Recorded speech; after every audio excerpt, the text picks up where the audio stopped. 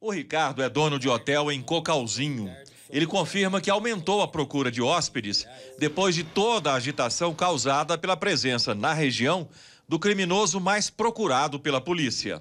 A demanda do hotel aumentou muito, recebendo autoridades, imprensa e pessoas que abandonaram suas propriedades na zona rural e, fui, e vieram para a cidade.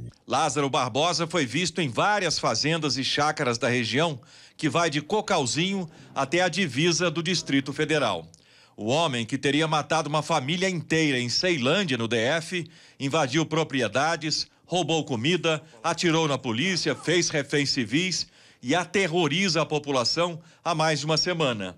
Até moradores do lado oposto de Brasília, na região de Formosa, também estão preocupados. A gente não deixa de ficar apreensivo também, né? Porque a gente está acompanhando o noticiário e visto que ele ainda não foi pego, é, ficamos apreensivos, né? Porque ele pode estar em qualquer lugar, né? O secretário de Segurança Pública, Rodney Miranda, concorda que as pessoas da região não devem ignorar o perigo. Se não precisar dormir na propriedade, melhor. Se precisar e a gente puder dar apoio, bom. Se não puder mas tiver contato, possibilidade de contato, ótimo. E a gente vai chegar, como chegamos rapidamente aqui é, anteontem. O secretário sugere que quem decidir ficar, que esteja preparado para enfrentar o bandido. Se possível, chame a polícia para a gente poder fazer o confronto. Mas se não houver outra alternativa, tem que se defender. E a gente não vai impedir a população de se defender. Nós estamos lidando com um psicopata. Uma pessoa que, se puder, vai ter refém, se puder, vai matar. Vai matar. José Ricardo, que além de hoteleiro é proprietário rural em Cocalzinho, não pretende enfrentar o bandido.